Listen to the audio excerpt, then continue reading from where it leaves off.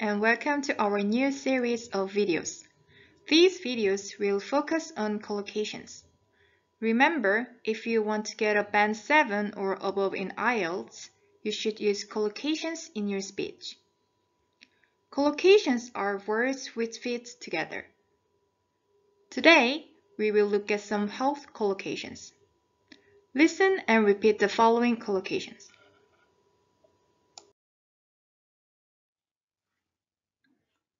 Our first collocation is off color. Off color means that someone is slightly unwell. The next collocation is feel under the weather. This means that someone feels sick. Then we have come down with the disease. This means someone starts to suffer from a disease. The next collocation is a streaming cold. This means someone has a heavy cold. Then we have build up resistance. If someone builds up their resistance, they are strengthening their immune system. And finally, we have shake off cold. To shake off a cold means to get rid of a cold. Okay, let's see how we can use these collocations in a dialogue.